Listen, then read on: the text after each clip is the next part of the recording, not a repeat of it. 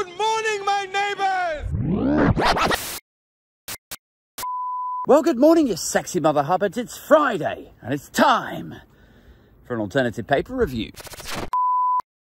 First up to the eye this morning, who report on this vicious new Mpox strain first detected in Africa, which has now had its first case in Europe. World Health Organization have already declared it a global emergency, meaning your crazy anti-vaxxer Uncle Paul is already rubbing his hands together, getting ready to spout that crazy all over again, like, all right, ready for round two, Paul.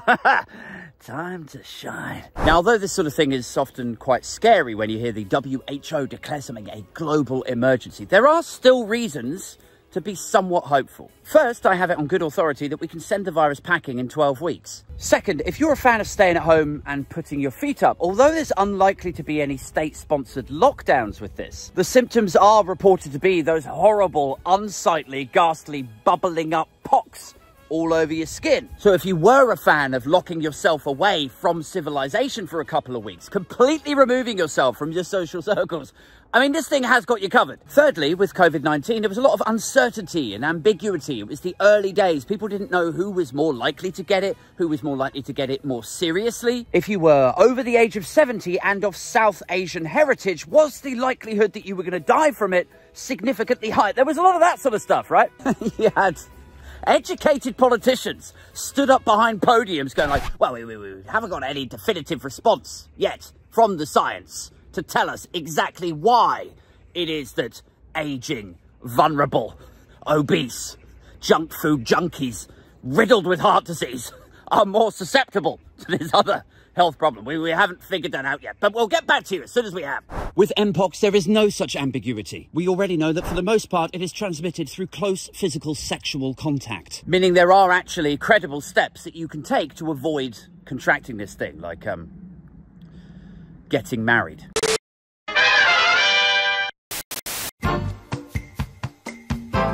Over to the Daily Mirror now, who reports on the death of Matthew Perry, who is eventually found to have died from an overdose of ketamine. 20 doses in one day, apparently. Anyway, now reports coming out of Los Angeles are that they've arrested a couple of medics, doctors, his support staff for facilitating his addiction. And that's why you got this headline here. It says, uh, ketamine queen held and, uh... I mean, is it just me or, like, ketamine queen? Doesn't that sound like a song by The Weeknd or Placebo? Finally to the Daily Mail and its older, uglier, more racist and senile sister paper, the Daily Express, who wheel out the gangbusters line, once again in reference to our barely growing economy. Indeed, this is a story that GDP figures released yesterday portray a Great Britain exploding in economic strength to the tune of 0.6%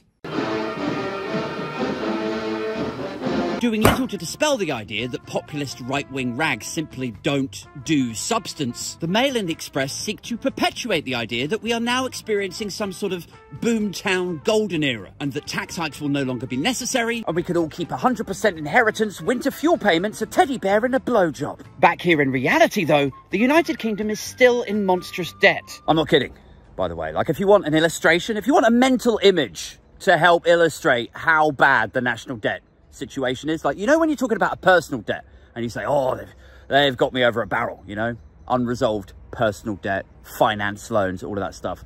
Well, the United Kingdom, if you think of us, we're over here, and then you think of bondholders over there, that's who we borrow money from, right? The bondholders have got us bent over a barrel, our pants pulled down, and then an eye-watering buggery session.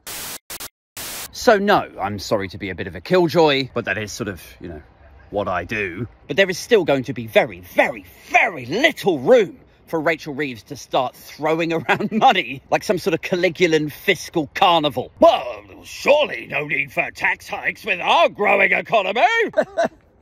Like, when did the Daily Express become somebody's elbow patches British Legion grandpa? Well, uh, say that the economy's going gangbusters, so I don't see why they've got to hike the taxes.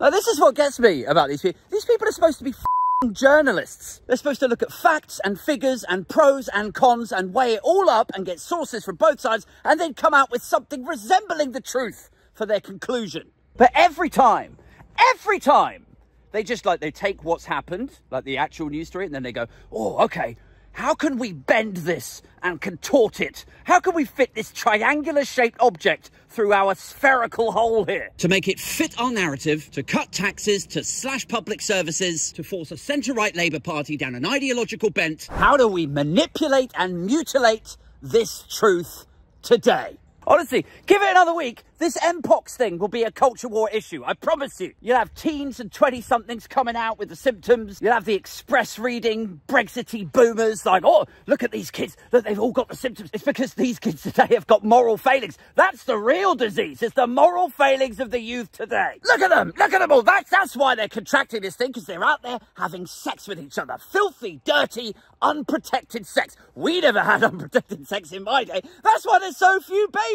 That's why there's a baby shortage. It's not down to the downsides of feminism or ballooning inequality or the housing crisis or the astronomical cost of childcare. It's all down to the ethical black hole in the centre of the heart of every Remainer leftist. If you ask me, they deserve it. Those ketamine guzzling, promiscuous traitors. Gen Z's generous fornicators should take their pocky penises for what they are. A plague from God as punishment for their evils.